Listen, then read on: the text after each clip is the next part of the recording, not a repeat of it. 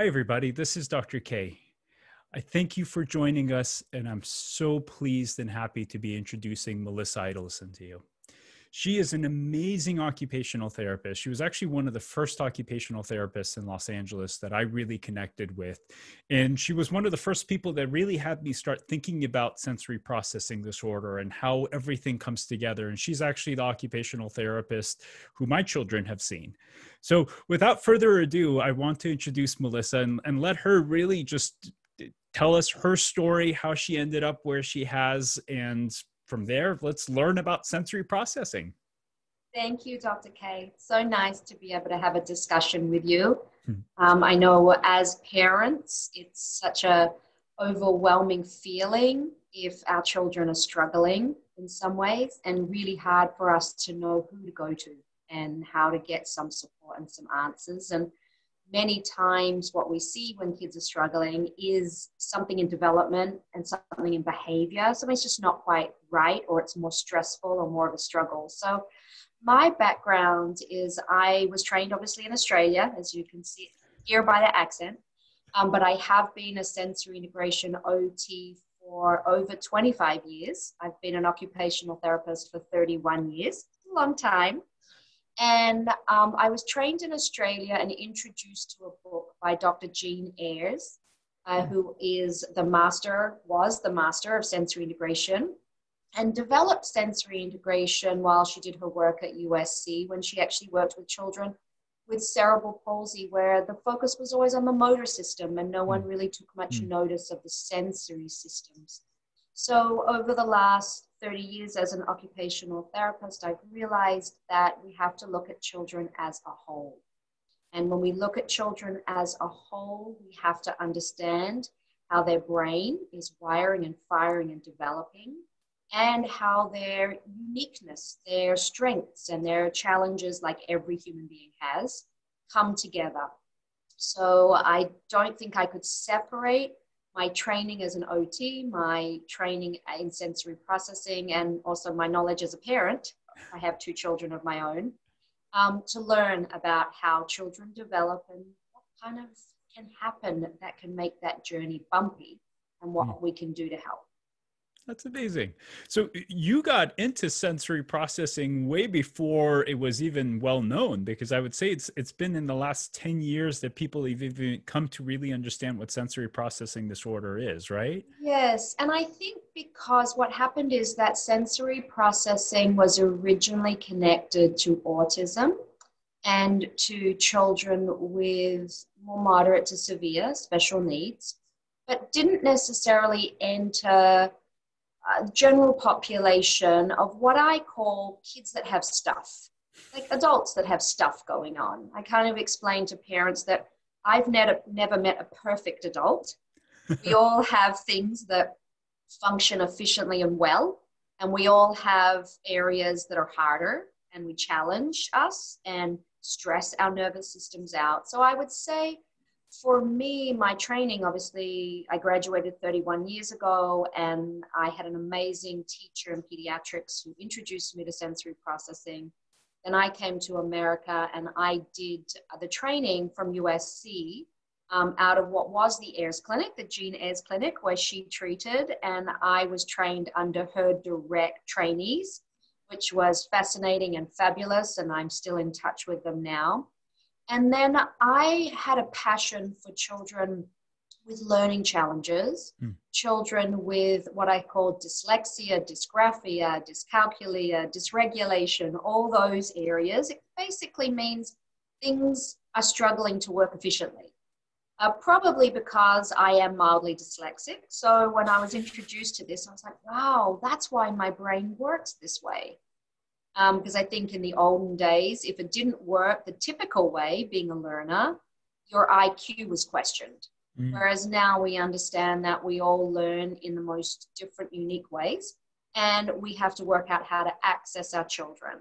So, about 16, 17 years ago, I opened Child Success Center in Santa Monica, and it was it's a holistic. It's a place where we look at all things that happen that could cause a child to struggle. So, the first questions when you and I consult and talk on a family is what's going on, what's hard. And by what's going on and what's hard, my job is to play detective hmm. and analyze from conception, from prenatal history to birth history to first 12 months to toddler preschool years and up if we see a child much older, which we can and we do. Were there any little triggers that showed us that sensory motor development or comorbidities, other things, were showing us signs that there was strain in that typical developmental process? Mm. And just like if math is not your forte, right? Maybe you're going to be a great lawyer and you're great with languages, but math is hard. You need a coach to get through the basics. And sometimes children and families need a coach to get through the basics. And that's what we do at Child Success Center. That's awesome. That's awesome. You you covered a lot, so I I, I want to make sure that parents really understand all of the magical words that you put out there. Uh, why don't we start with the stuff? You said like these kids have stuff. Uh, what what is what is this stuff? How does it feel like? So the kids that that have the little things about them that ultimately you're able to really help support. How, how does that look? Like if if I was a parent and my kid had these issues, like if you can help our audience kind of understand how how this all looks and feels uh, and then maybe we can get into the wiring piece because you talked about these kids are wired differently. I, I think these are all really important pieces for families to really grasp. Um, so, sure. what is this stuff? Okay, so I think from the very beginning, we need to understand that we're all genetically coded uniquely.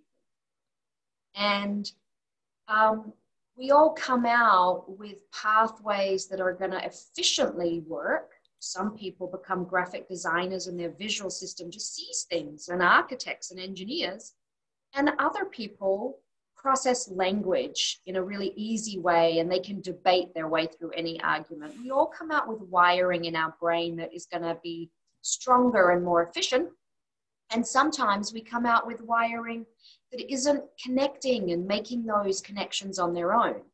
So there's stuff that comes from that so, for example, if you have a three and a half year old that has spent the last two or three months, maybe not because of COVID, but maybe preschools are open here, um, in school, they have to be a we thinker. They have to be part of a group. Well, what does it take to be part of a group so you don't walk up and kick over your friend's tower or grab your friend by the hair because they entered your space, right?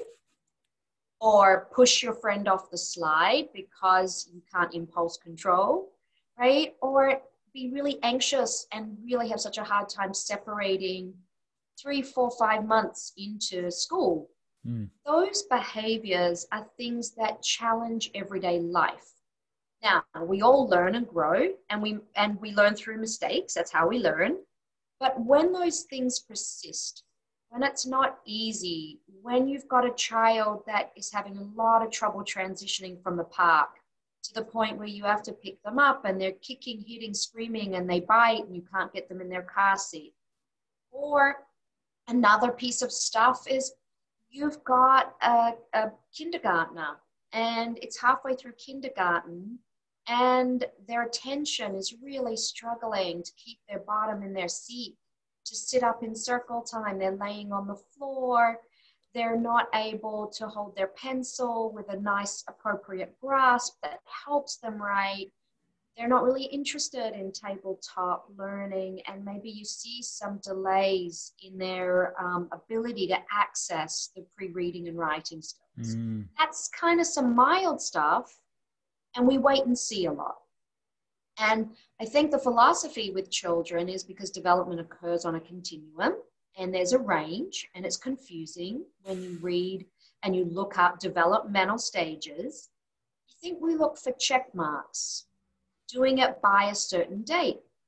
So, crawling, for example, we know that there is a lot of wiring and firing going on for a child to build those anti gravity postures to go from here to upright. And we know that crawling, being on your hands and your knees, is a great developmental process that has to happen because it's part of a developmental continuum. So it's not okay if it doesn't happen. because the child's missing out on the wiring and firing in their brain of all those sensory motor pieces that we want to enrich. So a lot of parents will feel like, oh, but they got up and walked yeah. when I talk to them at four and five and six years old. And I'm like, okay, that that was great. They adapted and they got up and they walked because they're interested to play and get up and move around. The first thing I'm going to look at in my assessment is what happened to the pelvic girdle and the shoulder girdle to build that musculature for stability, mm. to sit upright. And was there an underlying sensory motor challenge that caused that complex motor movement of crawling, which we need also for our eyes to come together? That's the distance to the ground, the distance to the book. So, all those pieces, when I play detective, Maybe we've got a little one that when there's so much movement around them, their visual system gets flooded because their balance system isn't that integrated yet. Huh. And they get anxious and they get into a fight flight. And maybe when someone comes into their space when they're on the slide, they can't get their words out yet to say, stop, it's my turn. So the quick and best way to communicate is to push. So maybe we don't have a behavior problem. Maybe we have an underlying sensory motor efficiency and the behavior is the output, it's the byproduct, it's how the child stays safe and successful. Hmm. So crawling is a pretty darn important uh, developmental uh, Very. milestone. Very, and surprisingly, um, I found a lot of pediatricians that aren't concerned. It doesn't wave a flag when a baby is either commando crawling, you know, on their belly, scooting, pulling their hands, or they're crawling and they lift one leg and they kind of put the foot down instead of the knee down to like a tripod. Mm-hmm. Um, but that's telling us that that motor network, that plan is not efficient. So there's lots of things we have to look for. And if we can go back and we can plan it, I think with a lot of these brain activity programs that have come out in the last five to 10 years, mm-hmm. they talk about reflex integration and they talk about crawling and going back in time. What they're really saying is those activities, those movement patterns mapped our brain, our right left cross laterality, our upper body, lower body synchronicity, right? All those things. So it's not functional to have a nine year old crawling around on the floor. But there are fun sensory motor activities that we can do with our nine year olds that really help them with cross laterality and midline crossing and bilateral skills and shoulder strength. That's why we use a sensory motor gym where we have all of our equipment that we can access activities that will promote that. That's awesome. So, in kind of a overly simplistic way, crawling kind of creates the foundational neural map where information then goes to the right place. So, by crawling, kids are essentially activating parts of their brain that then coordinates how information ultimately gets to the right place as far as how they're able to use their body and ultimately even how they take in information like what you said through their eyes. Is that an appropriate way to kind of summarize that? Yeah i think i sometimes explain to parents that if you were building a house you would want to have a really solid plan and you would want to have a really solid foundation. Hmm. because when you put the walls and the roof and then all the decorations in the house you want it to last long 80 yeah. plus years.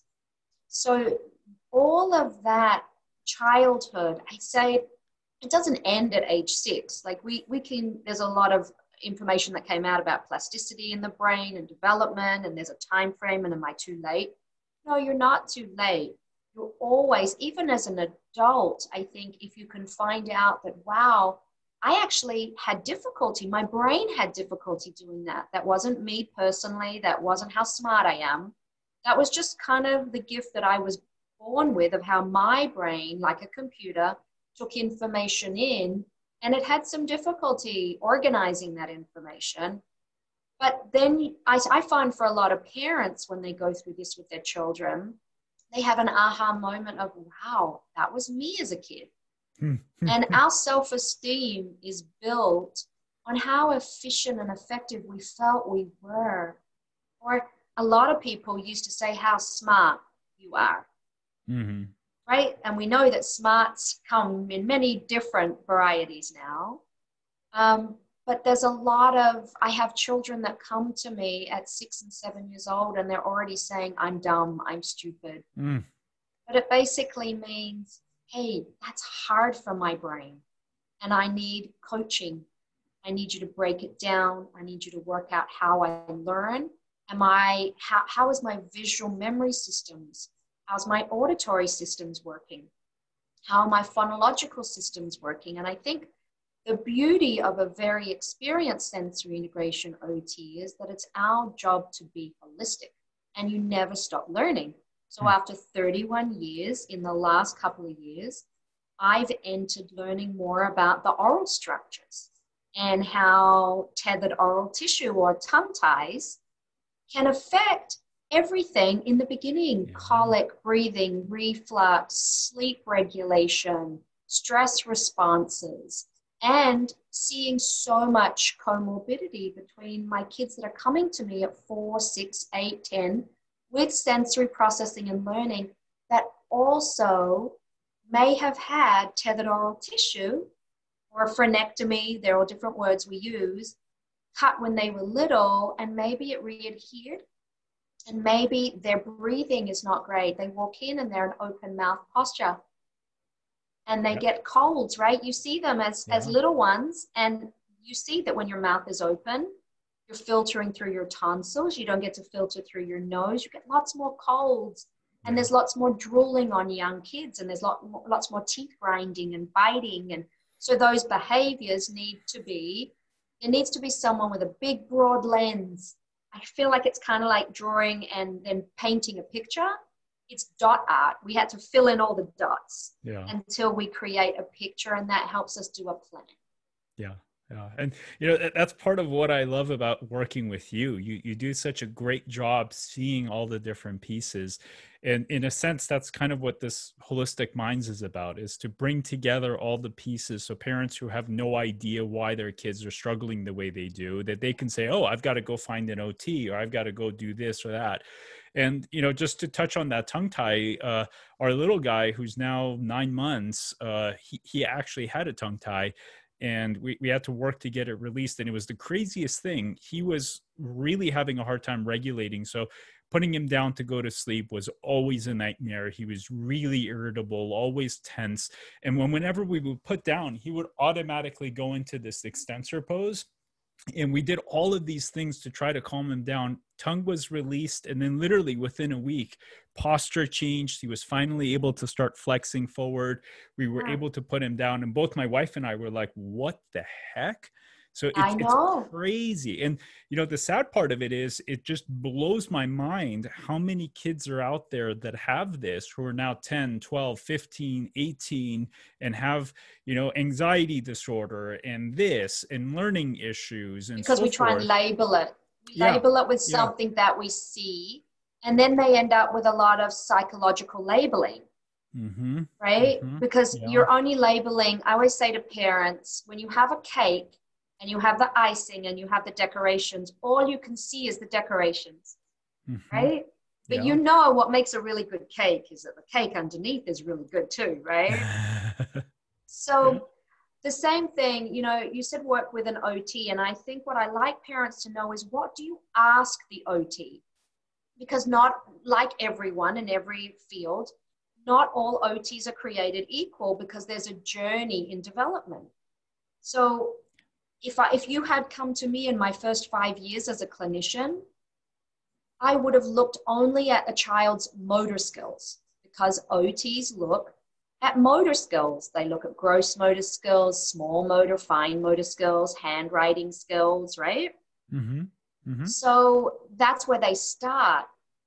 Then, when I knew I needed to to look at what came the what came before the motor, because if you think of a computer, what comes out of the computer is directly related to the programmer, right? The programmer yeah. programs it in yeah. and the hardware organizes it. Yeah. So what comes out, you have to go, whoa, what went in and how did it go in? So when we assess children at Child Success Center, we look at them from the minute they walk in the door. What is the environment like?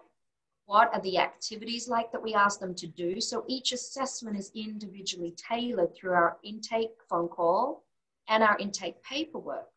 Because no two assessments are equal because children come in functionally with lots of things going on and lots of age ranges. Like this week, I assessed a nine year old who the mother did not want to put on ADHD or ADD medication. So we were looking at sensory processing, we were looking at the movement systems, we were looking at how when he doesn't get movement sensation and stimulation, I said to her, it's kind of his brain falls asleep. so yes, the stimulant keeps it chemically up, but what else can we do to bring awareness for this nine-year-old for him to start to understand how his own brain works mm. and what he can do to fuel it and how he can be aware of it when it's starting to fall asleep. That's amazing. That's amazing. right. So we need to do that. And then I also, this morning, I had a just 2.9 year old little boy, and parents were concerned about autism. And when we saw that, and there were a lot of feeding things going on, a lot of pocketing food, a lot of sleep regulation mm-hmm. stuff, um, some echolalia, repeating words. There are two languages in the home. And it was very clear this little boy also didn't crawl. This boy, little boy possibly has a tongue tie, but you can't get in a child's mouth on a first visit because it takes trust. Um, but he definitely has a lot of sensory motor mm. challenges that are making joint attention and joint intention of we thinking social play really difficult. And he's also at that age where he's just starting to grow from I, you, to us. Mm, So he's doing us with his parents, but we know that this is the time period that turn taking, sharing, with lots of conflict in between. This little boy doesn't register a sound away from him. And the first thing you need mm. to do to play with someone else is when you hear your friend knock over the tower and it crashes, the first thing we want to see when we assess kids is that they turn and they look and they reference. Because that's information coming in. Mm-hmm. Right? And then we want to see where the visual system goes. And for many reasons, kids struggle with ocular motor control or vestibular visual control, and their eyes stay down. That might not be autism that can be mm-hmm. sensory processing. So there's, I think this, it's a, it's a lot to think about so let, us actually talk about that. Uh, let's uh, uh, because i think for a lot of parents that this entire conversation to the, to some extent is foreign right? And uh, I, I think for the most part we take for granted that our brains just process information. Like i i mean before really getting into this world it, it never occurred to me to even question. And as a pediatrician you know that that's done a lot of training even in holistic medicine uh, a lot of people don't ever really stand back and question you know how does the brain process information from the world around it and i can tell you in you know a lot of the holistic medicine world and i just attended this you know integrative mental health conference online and there was zero mention of this so i yeah. think th- there's essentially a vacuum of understanding around how does our brain and how do our bodies take in information from the world around us? And then how do we make sense of that? And really in a sense this this is the entire conversation we're having right?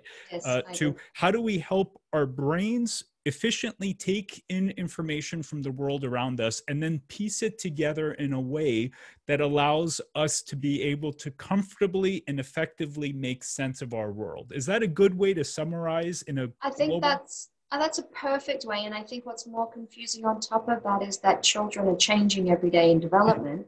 Mm-hmm. So knowing what to expect, what is expected of them, that's hard for parents. They don't have, um, most of them don't have a degree in child development, right? To know, oh, that's outside the norms, or they haven't spent time with lots of other children at one, two, three, four, five years old, but they know their child.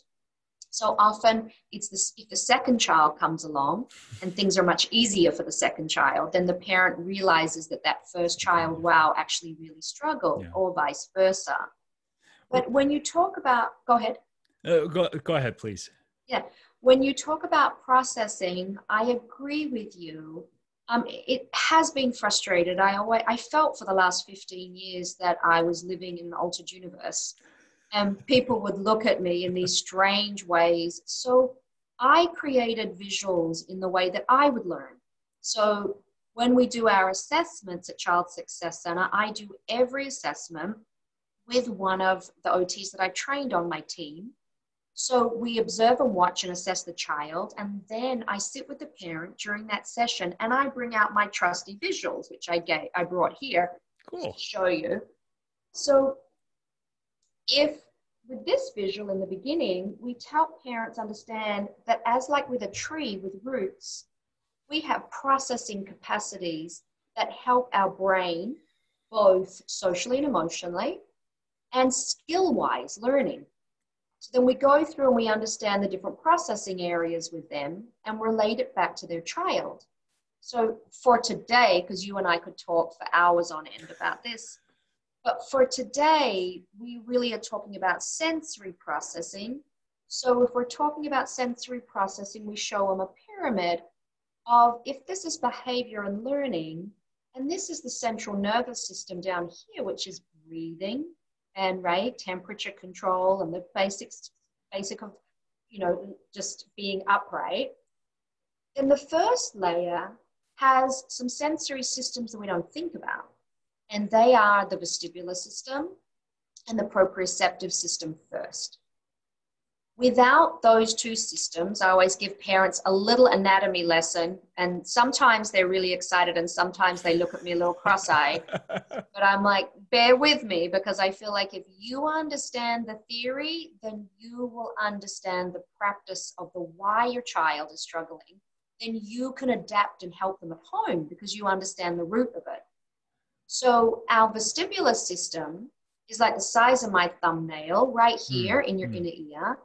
And it helps you know where you are in relation to gravity.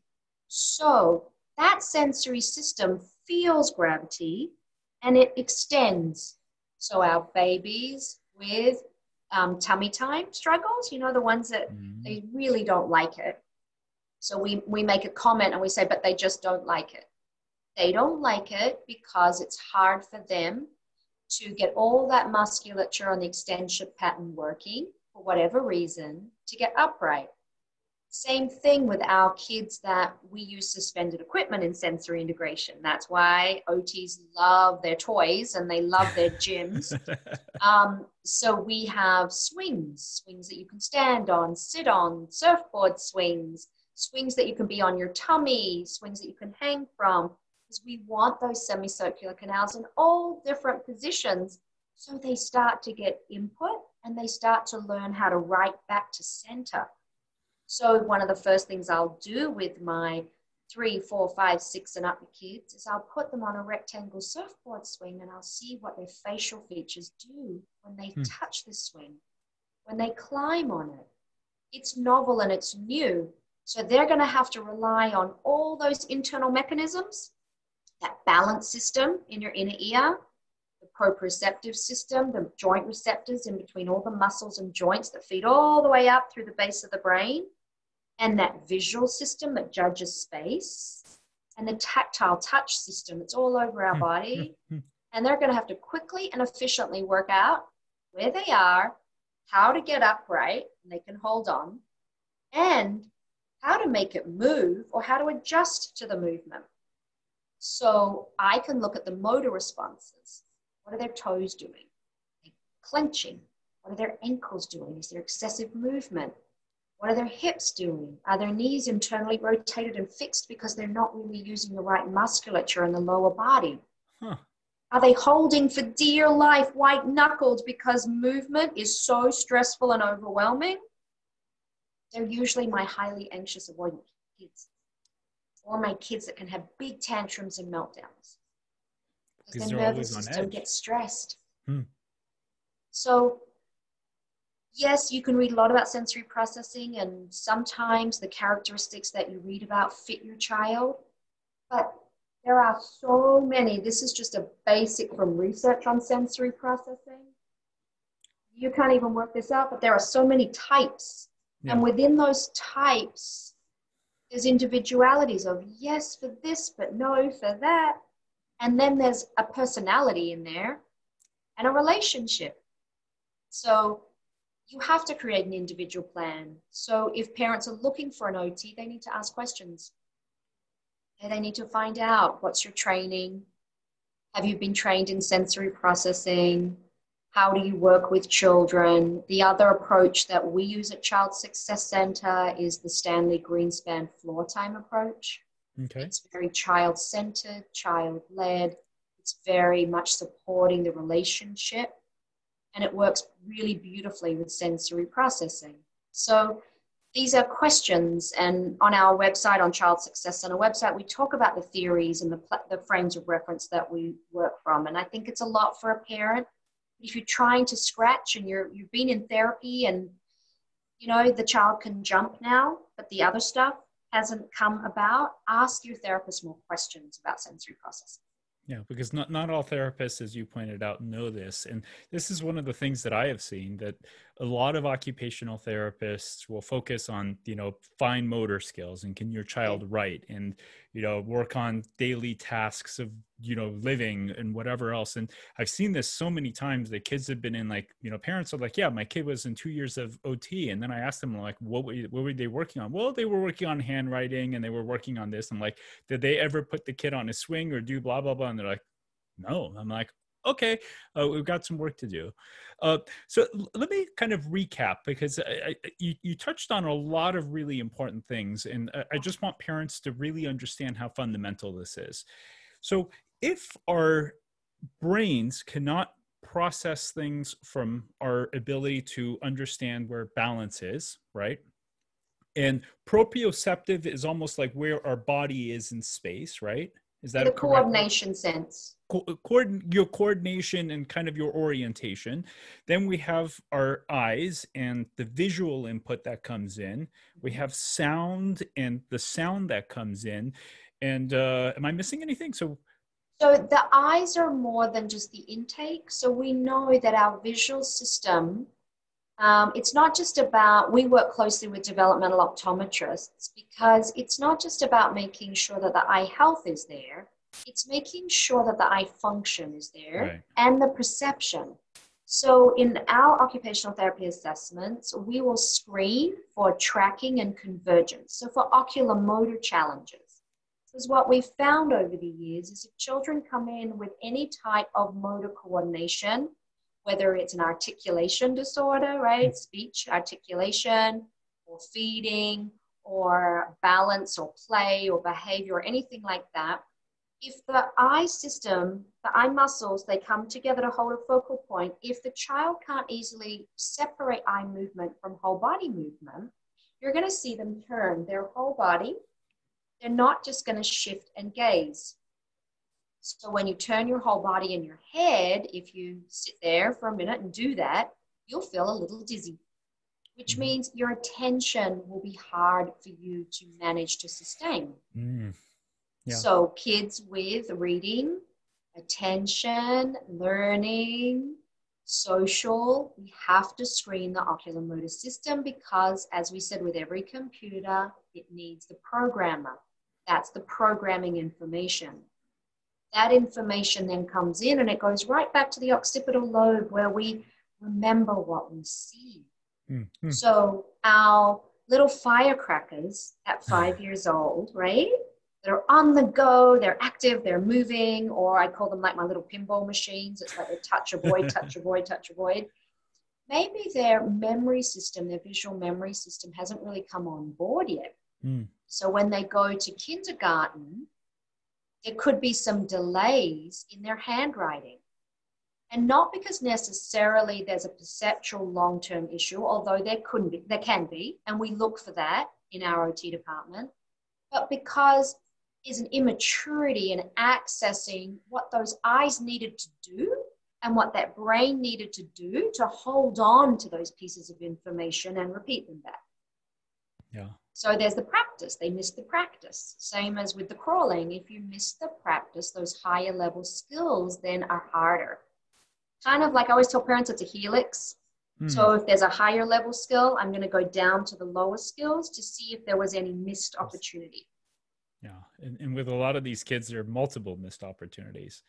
And, yeah. you know, one of the things that's really fascinating is, you know, a lot of the things you talk about in these younger kids. So part of what I see is, you know, when all of these things are missed, and now fast forward, your five year old is now a 15 year old and they're labeled with anxiety disorder and ADHD and learning disability and they can't read and every time they go to school there there's a set of issues and you know as I'm talking about this there's this guy that came to my mind where he was diagnosed with learning disability anxiety disorder depression and he was given one other label.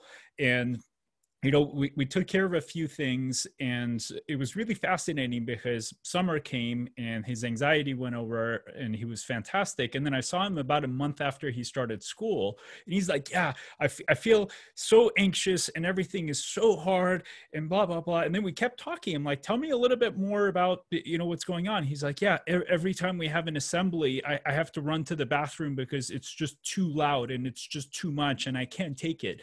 And this poor guy had lived his entire life like this. And you know part of what got me to do all of this and to start Wholistic Minds and so forth is you know it just it boggles my mind to think how many children young adults teenagers adults uh, have this. And you know we labeled them with an anxiety disorder and put them on zoloft and we don't ever really stop to ask the question like why is this person suffering? And it turns out that that guy had a massive processing issue in multiple areas. So and, you are you are 100% correct. And over the years what what's what helped me develop to go from the bottom up because you will get to see kids once you get into the roof which is all the psychology mm-hmm you can fix the tiles on the roof as much as you like.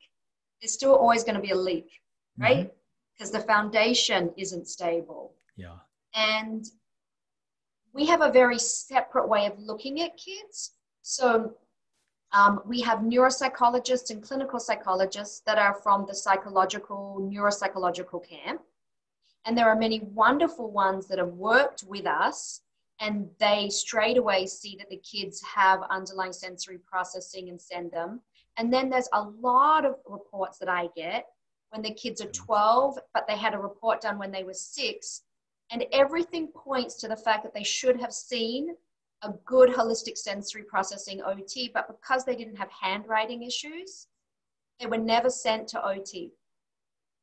Well, that or uh, I've I've seen tons of neuropsych reports where I mean, they, they don't even look at the, the sensory pieces. They don't. Like they, they, they start on, on, the ground floor. They don't really start in the basement. So I went to a neuropsychological seminar um, where it was like five or six hundred neuropsychs in the room. I was one of two OTs. A friend of mine took, you know, asked me to come with her, and it was, and there was a lot. You're cutting out research being done, and they do a wonderful job, and they are valuable on our team about and processed to get to learning. Uh, for for a second, the connection cut out. Uh, so I don't know if you want to repeat that last piece. Sure, let's do it again. How's the connection now? Uh, better. Hello? Okay, great. Um, so what I was talking about for families is you're on a discovery path. What's going on can help. And because it's sometimes hard to find, so the people you're going to go to are your pediatrician, especially when your children are young, and you're going to go to your school teachers, and you're probably going to go to your best friends and your neighbors. Mm-hmm. That's usually how I, I think people find resources um, and the internet. They start to read. So when children have learning challenges, when children have emotional challenges, which we know when puberty hits, there's a lot of emotion. Those children are becoming from the caterpillars into the butterflies, and we don't know them for a while and they don't know themselves for a while and they're trying to work out who they are in the world. If there's been any difficulties in how they process information and how they mm-hmm. struggle to keep up with their peer group, maybe they've struggled physically in their coordination and they're not, you know, they're not playing soccer after they're six years old because it's too competitive.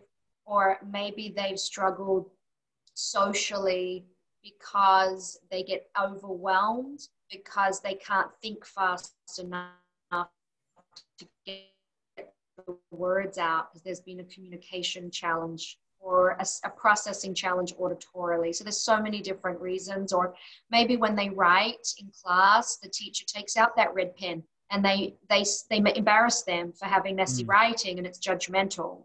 Um, mm. We often will send our kids when there's academic issues to a neuropsychologist or a clinical psychologist. I'm very blessed in Southern California and in the west side of Los Angeles that we have a lot of amazing specialists. But most of those amazing specialists are all out of pocket. They're, they're not in network. And the level of care for children in network, I think you asked a lot about why is this not discussed. Um, I think there's not a lot of support for parents. If you want to get a neuropsychological assessment, you could be paying between four and eight thousand dollars. Um, if you want to go to UCLA, you're going to be on a wait list for a long time, and you're going to have probably uh, a, an intern, you know, someone who's still completing their studies, do it because that's their teaching hospital, right? And they have to learn they might miss some of these things because they haven't been out in the world and practiced and seen what it really looks like. Same thing in my field as an occupational therapist. I mentor and train and have done for the last 16 years. But a lot of therapists with productivity are thrown in. And I had a therapist interview with me who came from a children's hospital, and she said, I had to walk into a 16 year old's room who overdosed and had mm. a neurological deficit, and I hadn't done neuro on upper on shoulders. I didn't know what to do, or I didn't know what to do in feeding, or I don't know the NICU. Like OT is so specialized, and we have to be a jack of all trades. So mm-hmm. I think we need to understand that children are our lifeblood, they are our future, as they say in that beautiful song. Um, and we need to honor that and put more training and more financial supports into our systems so children can get a lot of support early, not a little bit, not an hour a week. You're not going to make a big, big difference. Yeah. Yeah. And I think uh, it's really sad to see how little awareness there is around all of these really important modalities and tools that are available to help these kids. And I mean, I, I can tell you the vast majority of pediatricians, even holistic pediatricians, don't know about this. And uh, there, there's a colleague of mine who who is fairly well known, and you know, what this colleague of mine said, like, oh yeah, you know, we, we're over. Uh, what's she saying? Oh, we're, we're over diagnosing the, the kids who are just sensitive you know and we're over referring yeah yeah and, and she, i mean she she was basically in a flat out way saying like yeah you know some of this stuff is is not as real as as it can be and you know i just find it unfortunate because i find it you know even in in the medical world and the holistic world that there's a lot of dismissal of things that people don't understand and yet yeah. at the same time this stuff is so tangible you know for parents whose kids have ants in their pants and they can't sit down. And like you know one of the questions i ask families which is kind of telling for me is like can you sit could, could your kids sit down for dinner you know and can they one. sit down for five or ten minutes to eat dinner with you? And if they're like no every two minutes my kid is getting up and moving and we're constantly telling them sit down sit down sit down and it's the same kid at school who has add and adhd and you know for your folks out there watching like keep in mind that what we've talked about it, it is as relevant to your 15 year old as it is to your five year old the, the systems like kids mature. Kids grow up physically they're bigger. Uh, emotionally they're more mature. The same wiring the same programming as melissa talked about is is still there. And sadly that programming doesn't change unless you intervene to change some of that processing so they can experience the world a different way. And this is the part that's really unfortunate. Uh, what you touched on you know in terms of kids starting to develop all of these self-esteem issues. If if you've gone your entire life and every day is a struggle every day you're overwhelmed because your senses don't work and the way you process the information from the world around you is distorted and you you feel dumb because in comparison to your friends you don't understand things as easily and you can't read. You see all your friends and i see this all the time. You mm-hmm. know that the, these these people are like yeah i'm just not that smart because you know my friends read so easily and i can't. And they they internalize this and they think well that's just who they are and how they are and it's really unfortunate because it's not who they are it's not how they are it's simply things were missed early on that caused them to become the way they are or at least their nervous system to become the way they are and all we have to do is just bring in new programming right by yeah. changing the programming we can change their entire experience of life and give these kids a totally different perspective of, of themselves yeah. and the world you brought up some really important points um, about there was a time where I was working closely with one of the schools here on the west side of Los Angeles, and some of the te- parents were going, "If you if you get that teacher, she's going to send all the kids to OT," you know. But it just so happened the year before there were quite a few kids with self-regulation and joint mm-hmm. attention and learning challenges that needed it. So, what I say to parents is your pediatrician, your teacher, they're supposed to guide you and provide you with information. What you do with that information is your personal choice as a parent. So, when a parent calls me and says, my sister-in-law is a speech therapist and she recommended it or my pediatrician did or the child's grandmother was in child development or but my husband's really against it or vice versa. I always say to them my job in the assessment is first and foremost to make it a happy pleasurable good experience for your child and you. Hmm. there's nothing stressful nothing bad. So the worst that will come out of it is that you've lost a little bit of money probably not that much more than taking a big family out to dinner, okay? And a little bit of time. And the best that will come out of it is that you will learn a lot about your child. The result of that assessment may or may not be that we recommend services, support. If I don't see anything, or if I feel that it's on the verge of enrichment, but it's then a parent decision. Do you want to enrich these areas? Everything's kind of in that average zone. It's not functionally causing a big enough issue yet. Then it's a personal decision for me to give the parent information. And I say to the parent, I will provide you with that information and then you sit with it. Decide what you want to do when I do an intake call, I spend 20 minutes with the parents, and there's numerous times that I will say to them, You have not given me enough pieces of information to tell you that I definitely think you should do an assessment. Hmm. Hmm. But I'm also not there observing your child. You're giving me this information through your lens. So if you want to be sure that you didn't miss anything, we can do an evaluation. So what we did in our, we used to do a two-part evaluation. They'd come in for the first session, they'd come back for a second session. Um, but not every child needed it.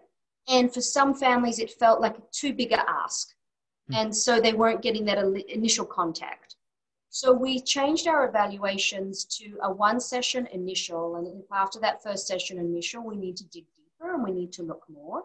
We explain to the parent what we need to see and how we need to see that and what their options are to do that. So I feel like our job as professionals is to give parents bite sized pieces of information and let them decide is this something I want? Is this something I need? I've had parents call me six months, a year, two years after an initial intake call. And they said, I wasn't sure, I wasn't sure, I wasn't sure, but now this has gotten really hard and I need some help. Yeah. Yeah. And, you know, I think the other way for parents to look at this is, you know, with certain things, including the senses and how we process information from the world around us, if the signs are there and that's that's part of you know what i see our job with Wholistic Minds as to to really to whatever extent possible really help parents become clear of what the issues are but if the issues are there and the child has what looks like ADD or anxiety or learning difficulties or whatever ultimately they're getting labeled with, you can let this just linger on.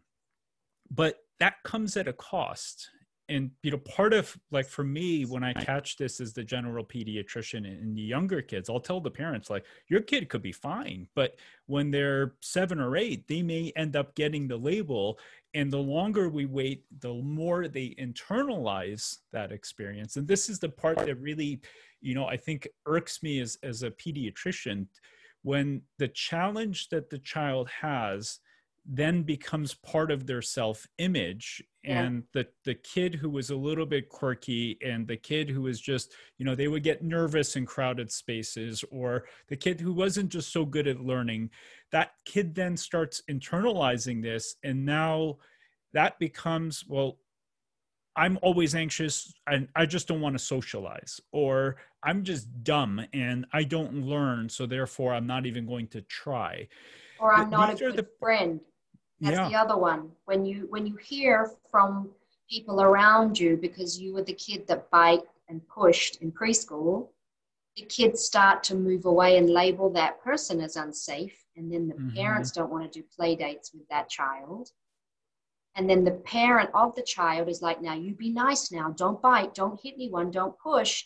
If you have a good day, you'll get a sticker at the end, you know, because they want to encourage. But that child that's biting or pushing or hitting in preschool is not necessarily doing it with a conscious, I'm going to turn around and bite Jimmy today. It's impulsive and it's a dysregulated state because, like just a volcano, it just has little eruptions. And you're right, it's how we then see ourselves with a child that doesn't sit at dinner. The parents will say things like, oh my God, this is my kid that never sits still can't go to a meal. We can't go to a restaurant. It's always so difficult. We can't go to that restaurant because you won't stay at the table. And they don't even realize it, but as parents, we're human beings and we have our own volcano system. And when we have little explosions, they're normal. And the first thing I do with our families at Child Success Center is I welcome them as a whole because it's hard. It's hard when your four year old is scratching your three year old and they're constantly needing to be pulled off each other. Yeah. Yeah.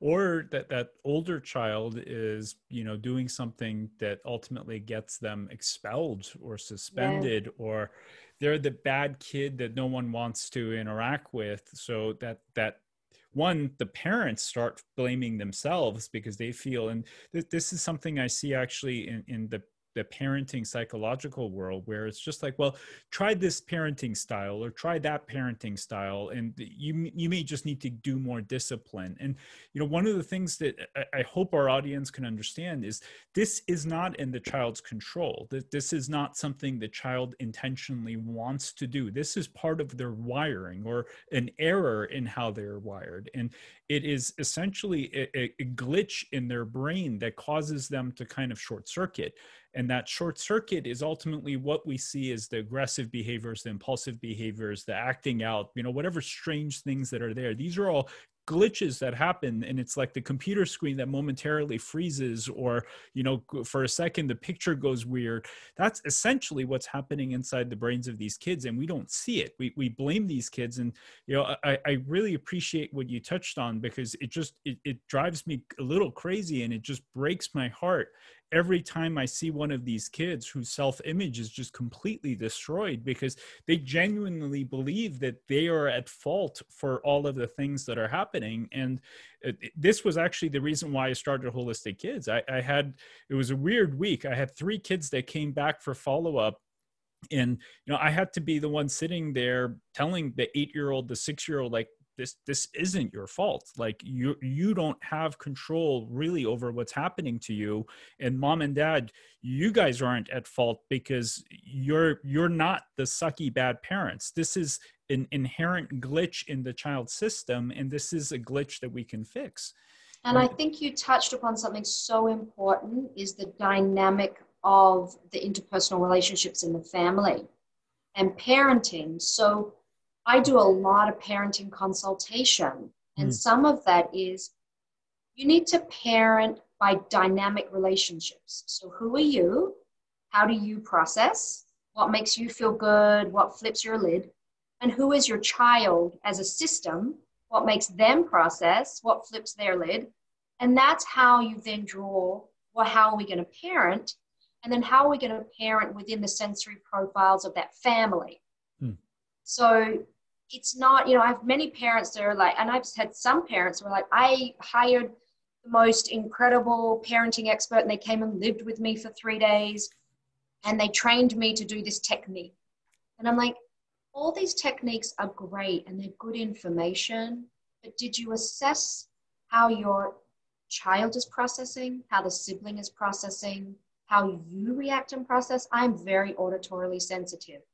And I brought home from the hospital 18 and a half years ago a little girl who I didn't realize until she was 16 who had a lip tie, who was not hmm. breastfeeding well, and was snacking and falling asleep, so not eating very well, and waking up and screaming every hour or two throughout the night. And the screaming made it so difficult for me because I'm very auditorily sensitive. Mm. Mm-hmm. And it affects, at that moment, it affected my love and joy of having my child. Now, what I also didn't realize was that she was gulping air because she didn't get a good seal when she was feeding, right?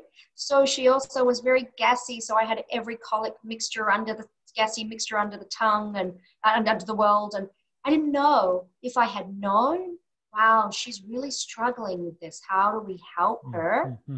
And if someone had come in, like the wonderful lactation specialists that we all ha- we have access to now, and said, "Wow, she's really struggling because of her oral motor structuring, and we need to teach you and her how to be a we, and we need to take care of your emotional systems, and we need to let you know it's okay for you as a mom to say this is really hard."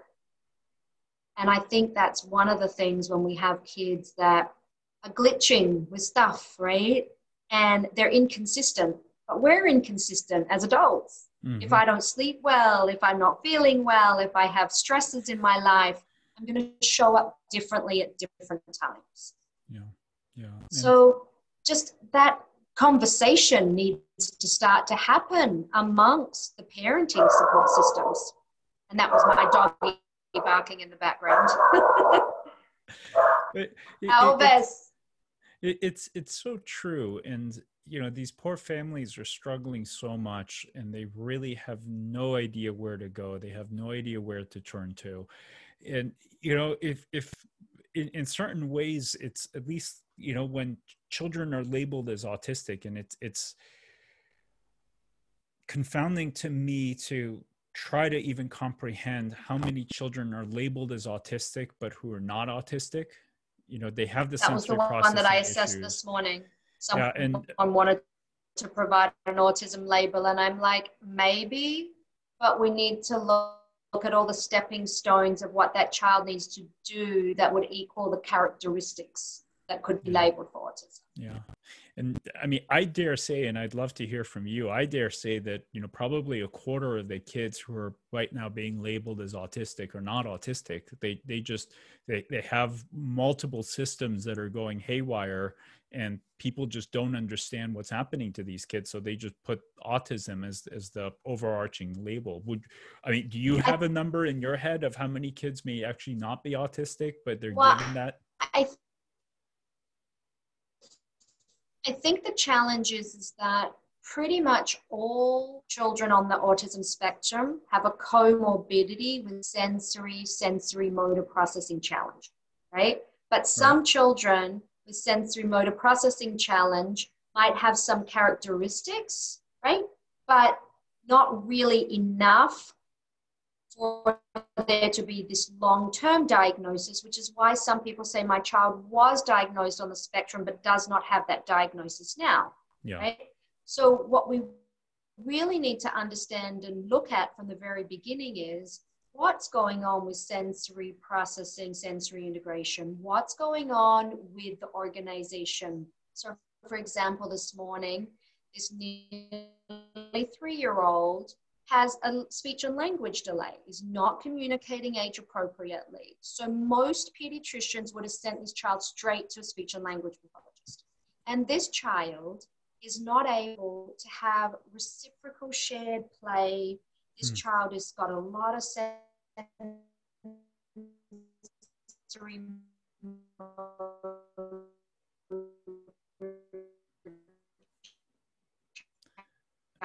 Hello, it's it's freezing up.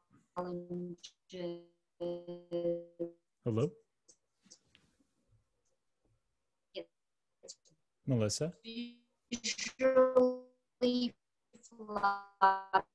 Hello?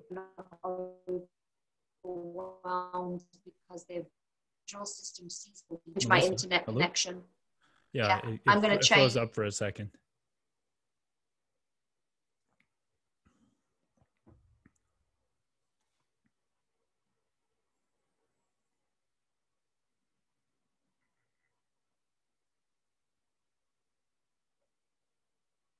Hello? Okay, is that better? Yes. Okay, where should we start from? Uh, you, you were talking about a three-year-old. Uh, we, we, were talking about oh, autism, autism, and how sensory issues. Yeah. So why, why don't I ask the question and let you kind of dive yeah, into let's that? do that because you can edit this, right? Yeah, yeah, yeah. Absolutely, we will.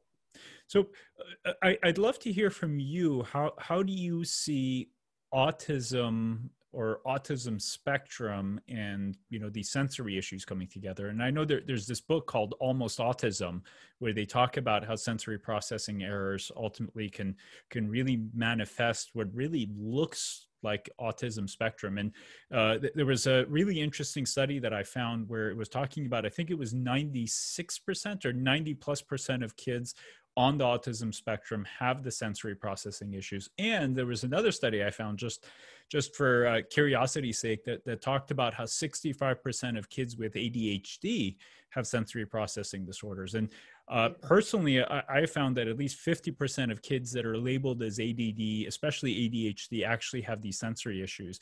But how do you see um, autism and autism spectrum and these sensory issues coming together?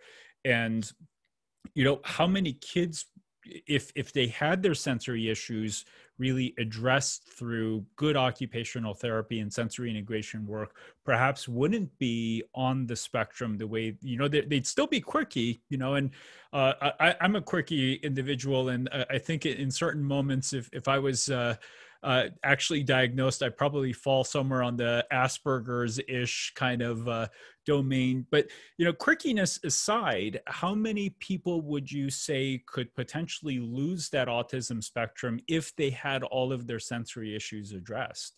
I think that's a really, really good question. Um, being that for the last 30 years, most of my work along my journey, I have been able to continue digging and understanding the child in front of me. I wasn't limited to only, um, like in a school district, you're limited to what you can look at. With insurance companies, you're limited to what you can look at. Families have come to me to explore and how we can help the child. So I would say you are correct. Now, what happens is, is that as a human being, every human being all the time is sensory processing.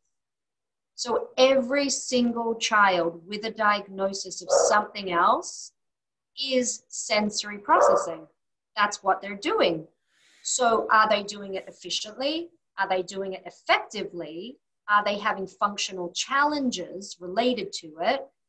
Usually, the degree of that is whether we're going to send them to OT. Mm-hmm. But most of the very typical DSM diagnostic coding for OT is going to be directly related to a functional issue for OT. Balance, coordination, handwriting, we discussed. Yeah. Self care skills, we discussed. And then frequency and duration of OT is really never more than once or twice a week. That's kind of been what has been stated. What I have found over the years is by doing an assessment of how the child is processing first, then understanding their function and how these processing challenges may or may not be relating to function. And that can be socialization, right? Play skills yeah. for our young kids that might be on the spectrum, being a we thinker, perspective taking, sharing thoughts and ideas. For our older kids, it could be written expression, creative writing really deals with a lot of those things, right? As well as the physicality of just being in your body and being comfortable. What you talked about then was rhythmicity. You know, we use we use our internal sync when we talk. Mm-hmm. Think about other people. We have intention. So, as a sensory integration OT, I feel that every child should be seen. And a neuropsychological neuropsych friend of mine says you need to see every single kid first. Kind of like where the base floor, where the basement, because when we do that, what we'll do is we'll help solidify all these skills that you don't think about but you need in order to sit up and have a conversation, in order to sit there and hold a pencil and copy from the board, in order to go out on the ba- basketball field mm. and play ball mm. with your mm. friends yeah, and yeah, play a pickup yeah. game, right? And as an adult, to have executive function. So, executive function is the ability to plan and sequence and program and know what's expected of you in an activity or an environment or a relationship. And then you need to make those intentions. What's the intention of their words and the what's going on and how do I calendar and I sequence it. We do executive function support with three and four year olds when they're having trouble playing at preschool mm. or at home and there's a lot of conflict they're having executive function challenges. That's crazy. Hmm. It's just that we don't have a platform yet to really share. People have said to me, create a video, a documentary, a book.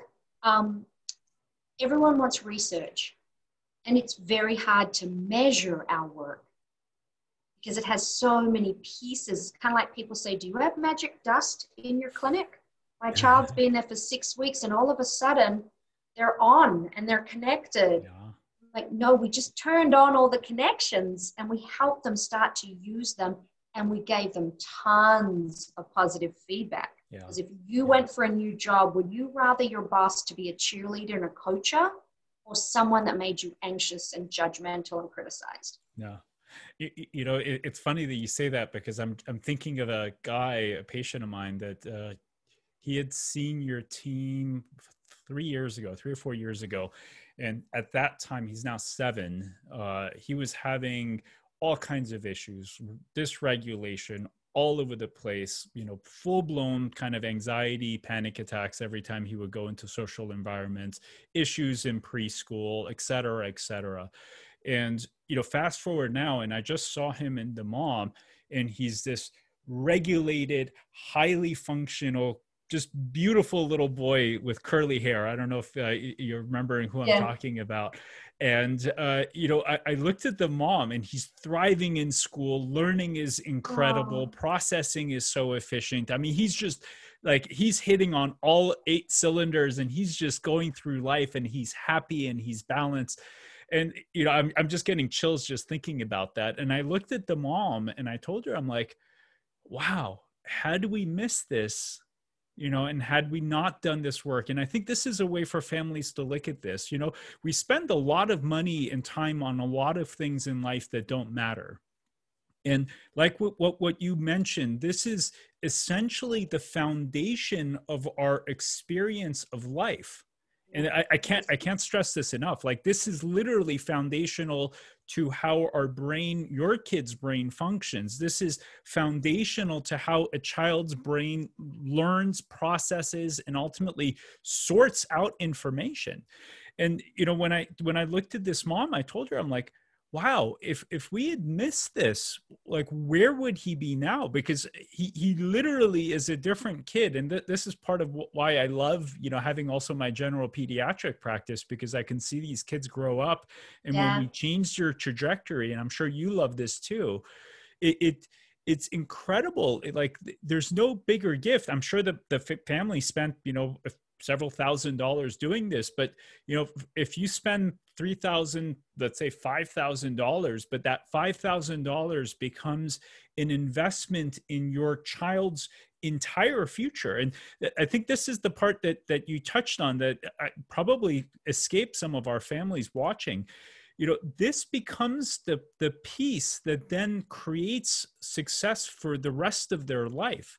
Executive functioning whether you're 8 or 38 is no different you know yeah. concentration ability to process information from the world around you is the same it, it, you, you experience life differently you may end up in a little bit of a different things but how can we change the trajectory of life for a human being at, at, whatever age they are and this, this is part of you know what, why i want to do all of this and why Wholistic Minds is coming about to you know you, you talked about the platform where well in a way Wholistic Minds is this platform for parents everywhere around the world to start gaining awareness that these tools exist that these modalities exist that all of these this understanding exists. And by tapping into this and understanding what is the right tool to bring in for the right child, we can literally change the course of events in the child's life and the child that thought they were stupid and the child that thought they're bad and the child that can't do get along because they're constantly doing something that you know bothers another child and they're getting kicked out of the classroom because they're too whatever if we reprogram that child's system and give them the ability to finally function at the level that they deserve rather than the brains constantly short circuiting my god what, what what happens to that child when they're now in their teens and then the adult and you know the other part of it that really disturbs me is when i see these people that do horrific things in our society where you know these yeah. people that just lose their mind and flip out and then cause horrible harm to you know the, these the rest of society I, I, I sit back and this is actually one of the things that constantly goes through my head like what happened to cause someone to be that disturbed to then ultimately act out in this way. And well, if as a pediatrician, right. I mean, if if their pediatrician knew enough, and it's not to blame anyone, but you know, if everyone had this kind of understanding, and this is really what I want to do to bring this understanding and make it available to every human being on the face of this planet, but if everyone had access to this information, if everyone had access to this way of being able to see the human body in their child, how many lives can we change for the better? And not just yeah. take away suffering and dysfunction, but bring this optimal experience of life and I think you you bring up a very important point, and I think that way too. When I see, um, you know, shootings and destruction like that, um, we just know that a lot of young adults in jail have learning and attention and regulation issues. Um, I think that you're touching on a point that maybe we can come back and talk about at another time. Where what we fund and what public mm. policy promotes shows us what t- tells parents what's important, right? So it's important to go in and do your checkups, it's important to meet your milestones. We don't really talk about what happens when something is challenging. And we also don't put it as a value system. So people buy cars and it's easy to swap your cars. I came from a country where you bought a car and you kept it for 10 years and cars were incredibly expensive. Here I'm like everyone two or three years, they're in a different car and, um, or materialistic things know, I'd have families that could come to us and they might have be wearing beautiful clothing and beautiful jewelry, and they'll complain about um, the cost of therapy. um, the challenge we have in where we live, which is different from some other states, is that insurance reimburses at such a low level that it does not allow us to actually keep our lights on. It yeah. doesn't allow us to hire and train good staff. It doesn't allow our clients to do a full therapeutic hour with the family and email follow up. You know, you do a lot of concierge service. A child is part of a family. So when you're with working with the child for your session, there's all this other stuff around them. So the challenge I had, which was 13, 14 years ago, is I can't afford to go in network with insurance because I couldn't keep doing my work and I couldn't keep growing and I couldn't train therapists and couldn't provide a great support. So we opened a foundation. And over those last years, I found it incredibly difficult to get people to donate to our foundation because there's not enough information of what you're creating on your portal website out there that says this is a really important thing these children really do struggle, and this is real. And if we do this, we can prevent lots of social, emotional, and challenges right, right all the way through the major traumas, from the minor traumas to the major traumas. Yeah. yeah. Self-esteem, marriages, divorces, good parenting in the future, raising healthy, well-rounded children. You know, I think it's paying it forward. We need to mm-hmm. water the garden and watch all those flowers grow and I've had a I've had trouble over the years really saying why should you give to us versus Children's Hospital where they're doing surgery, right? And and and saving children's actually saving their lives. We're saving their lives too, but in a way that is really hard for people to understand. So thank you for creating this platform and for educating people that kids with stuff need our help and parents that have kids with bumps in the road need to know that those bumps are telling them something. It's not just growing out of it. Yeah. Dig underneath the bump yeah. and find yeah. out, ask questions, and get help. Yeah. And, you know, sadly, uh, I think most pediatricians and most physicians and psychologists have not yet learned that those bumps are there for a reason that, that they're not just annoying little things that are happening that there are physical physiological neurological issues that are creating these bumps. And if we can understand what that foundational piece the basement piece as you said is and really address that at that core level then all of a sudden the bumps go away and everything becomes easier and better i and think it's prevent thrive. it's preventative medicine. Yeah. It's how it's healthy preventative versus a lot of um, school district assessments are waiting until there's a big gap for a child because they don't mm. qualify until the skills are really struggling. Yeah. So we, we have systems. Some of those systems are helping, but it's never enough because every child needs a village and a cheerleader, right? And love and attention and knowledge. But the long game is worth it if we invest. Amen. Amen. Well, this is incredible. I, I, I, thank you so much. And I thank you for all this generous sharing that you have done. And, uh, you know, hopefully together as, as a community, as a little village, uh, we, we can really change the world for countless children and just make life better for them and just help them thrive in life. I would love to. Thank you mm. for doing this. My pleasure. Thank you. Bye-bye. Mm, bye.